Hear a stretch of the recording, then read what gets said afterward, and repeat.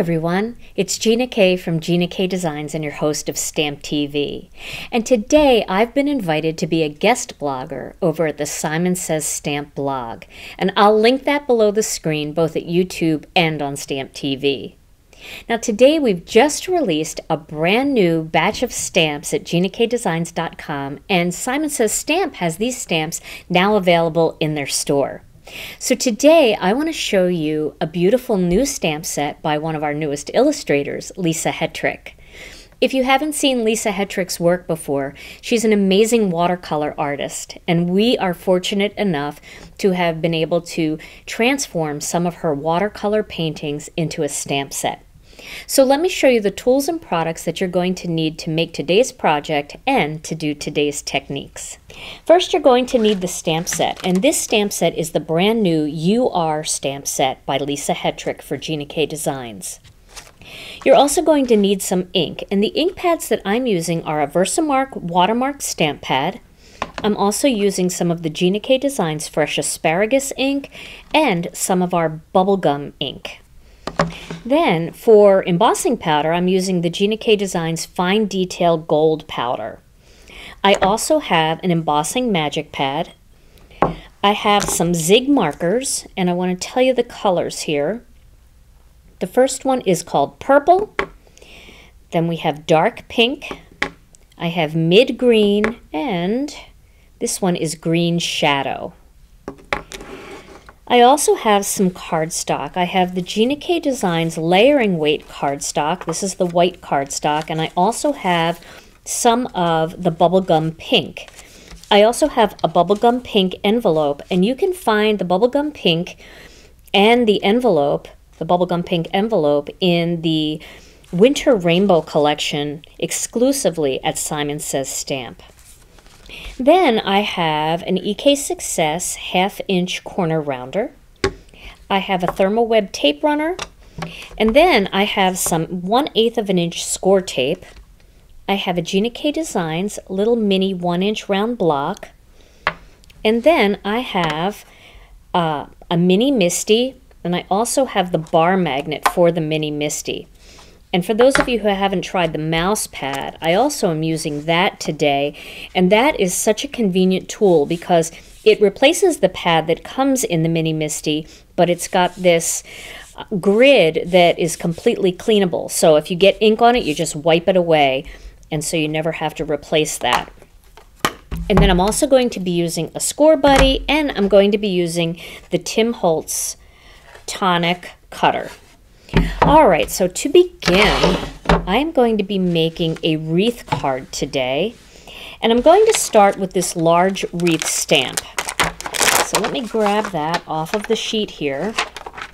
And I'm going to be using a piece of cardstock that I have cut down three and three quarters of an inch by three and three quarters of an inch. So this is a little square card. And I'm not sure if I'm going to be using that bar magnet today or not. We'll have to see if there's any room for it. But as long as this piece of cardstock is tucked into the corner here, I'll be able to restamp if necessary. All right, so that's looking pretty good. And that's where I'm going to place my wreath. And I'm going to pick up that stamp using the lid of the Mini MISTI. All right, so now I'm going to grab some of that fresh asparagus ink and I'm going to ink up this wreath very well with this ink. Now you can also do this by embossing the wreath first, or you can use black ink if you prefer. But I wanted to use a green ink, and I'm also going to color the wreath in with other greens. This way it's all looking like real vines. Okay, so I'm going to just make sure I get a good impression there. And there is my wreath. So that is ready to go. Then I'm going to replace that bar magnet up in that corner. Now my next stamp that I'm going to use is going to be this little flower, and you can see it's well loved. I've used it so much that I've stained it pink. I'm going to place that into this empty spot down here in the corner. And I'm going to lay it so that it's not really overlapping with any of the greenery. And this is designed to fit right in there perfectly. So I'm going to pick that up with the lid of the MISTI and make sure my cardstock is back in place. Now, Lisa is a watercolor artist, and I've seen her designs similar to this done in watercolor, and they're just beautiful. So I want to try to achieve the same look. So I'm going to start with some of the bubblegum ink, and I'm going to stamp that first into that spot. So I just want to lay down a little bit of color there so you can see how that looks. So now my next step is to grab these two zig markers and I'm going to start with the lighter one. This one is the dark pink. Let me close up this ink pad for a minute.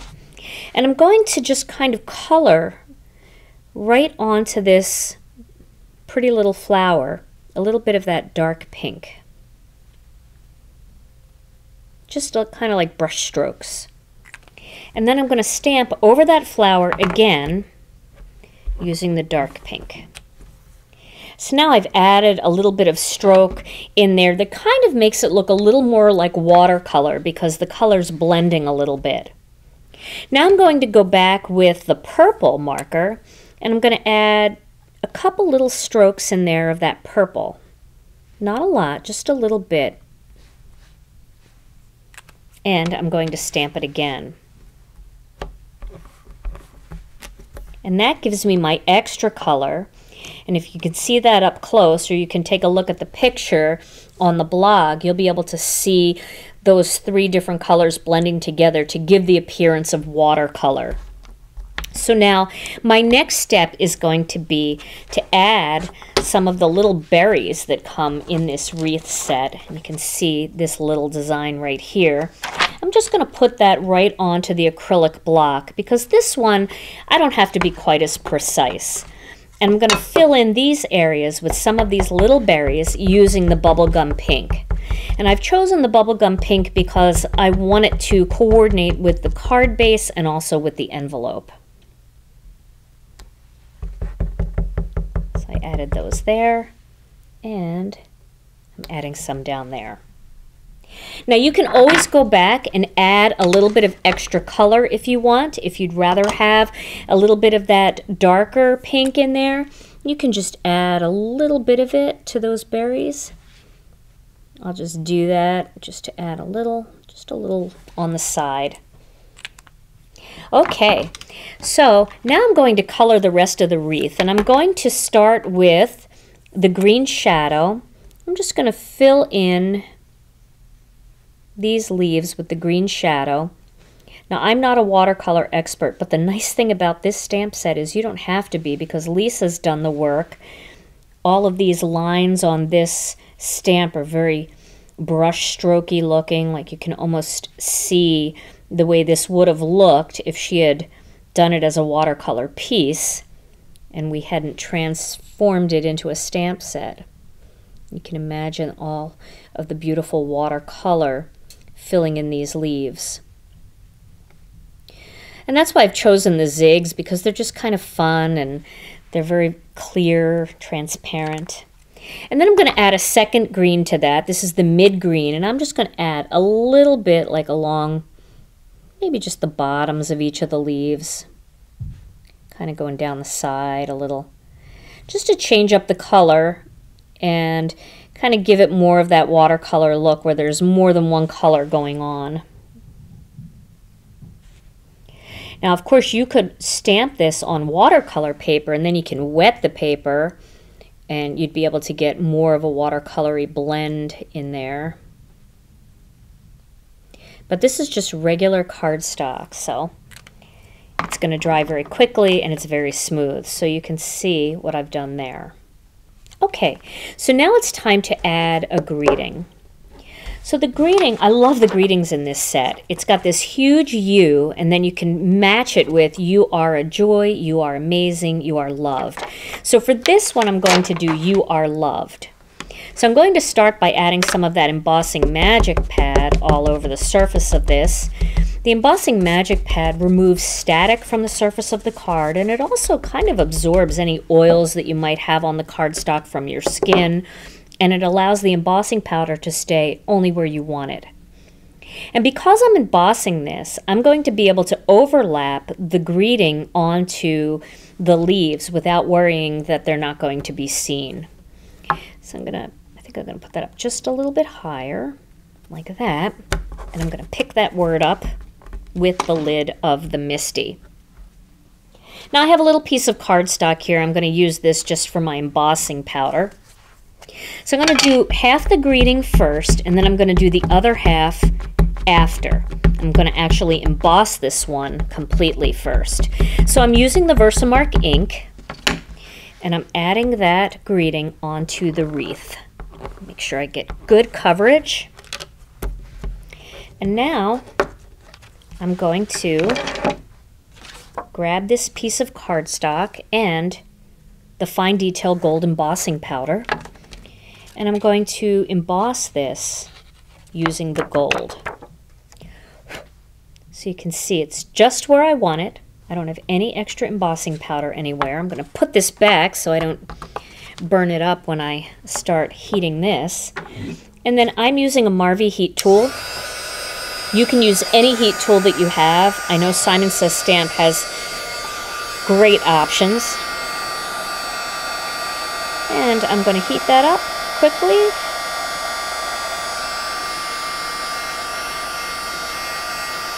Can see how pretty that looks in the gold. Okay, so now this is going to slip back into my mini MISTI and I'm going to find my next stamp that I want. And like I said, for this one I'm going to use You Are Loved. I love Lisa's handwriting. These are all written in her own handwriting. And they're just beautiful.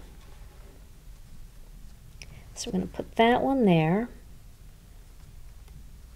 And pick it up with the lid of the MISTI. And again, ink that up with Versamark. Get it nice and inky. I've used this stamp set quite a few times now, so it's well conditioned. But sometimes when you're using it for the first time, you just need to give it a little extra ink just to make sure you have good coverage.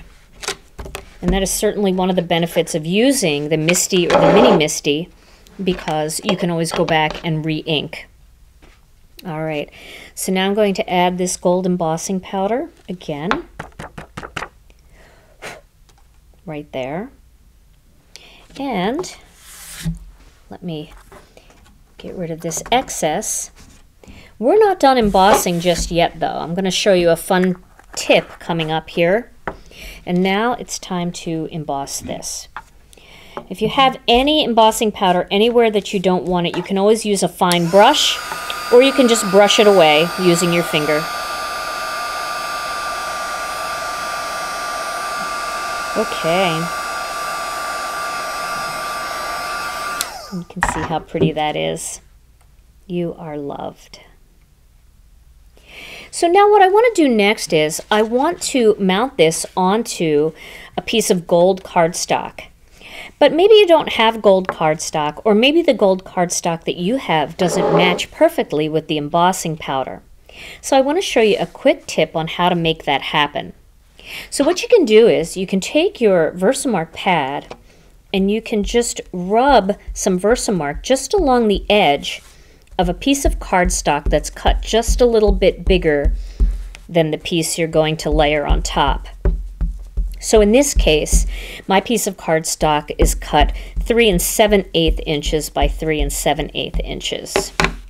Okay, and then I'm going to grab that scrap piece of paper again and grab my embossing powder and I'm going to put embossing powder all around the perimeter of this card.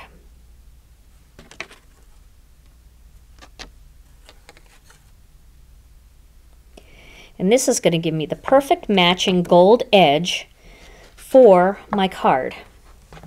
It's going to match all that pretty embossing. All right, now let me grab my heat tool. Let me get rid of the little excess there. Okay.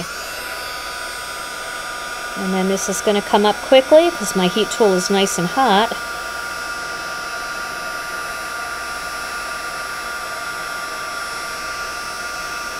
This is a great way to have different colors of cardstock that maybe you don't have in your collection, but you need something to match, you can just create your own edges. Okay. So there we go. That is the perfect match. Now I'm going to grab a little bit of stamp cleaner. You can use some Ultra Clean or any kind of stamp cleaner you have. And I'm going to clean off my surface here, my craft mat, because that Versamark is a little bit sticky. Okay.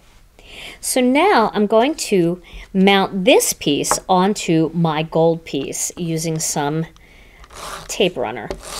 And because I have a lot of embossing on here, I'm going to use an extra little bit of tape. Some of you like to use liquid glue, and that's fine too. And this is going to go right on top.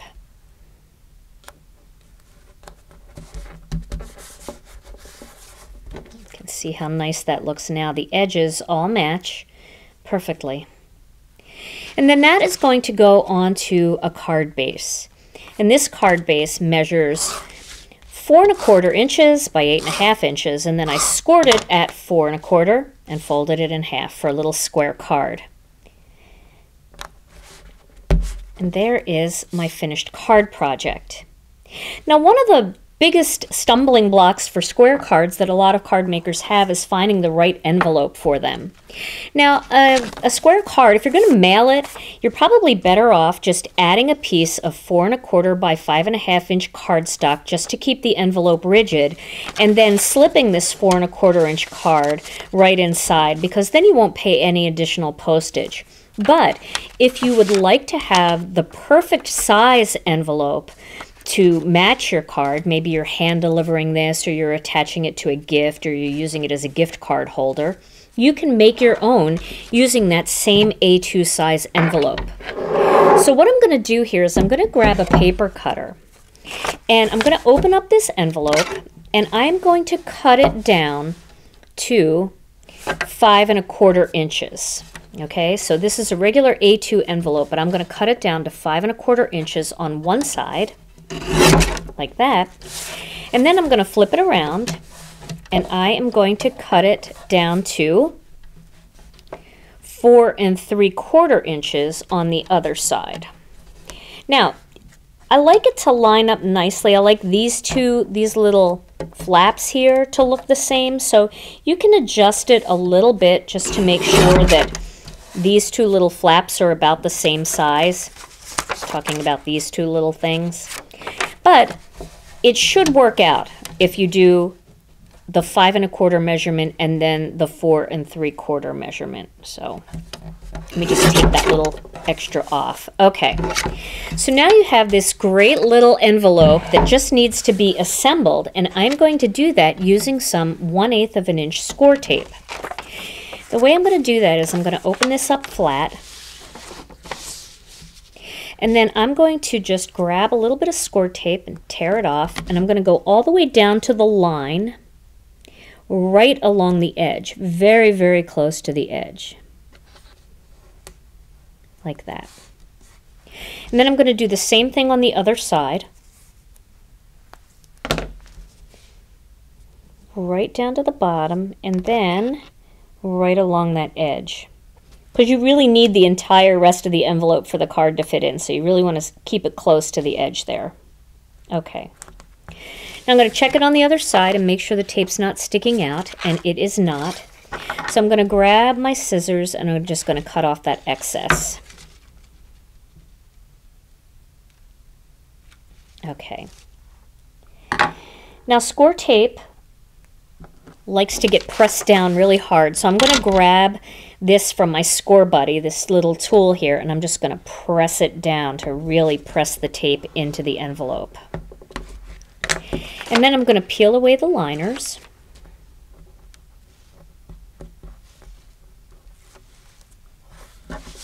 And I'm going to fold that back into place. Okay, so now that envelope is nice and sealed. But I want the corners to look pretty because I think that looks kind of handmade, like I didn't really do a good job there.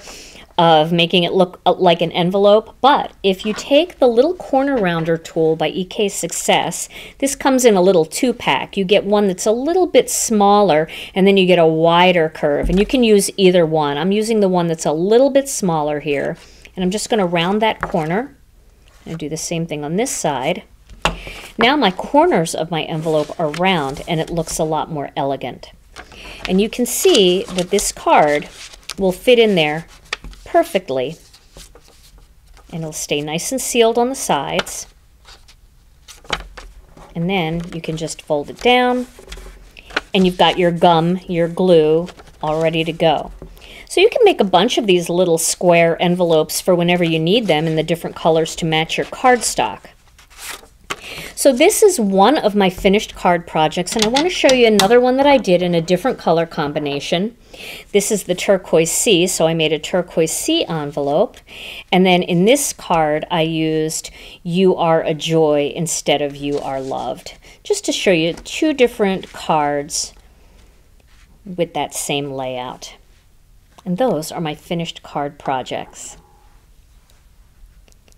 I hope you enjoyed today's Stamp TV video and head over to the Simon Says Stamp blog to read more about these card projects and visit simonsaysstamp.com to get this and other new release stamp sets by Gina K Designs. Thanks so much for watching and I'll see you again soon.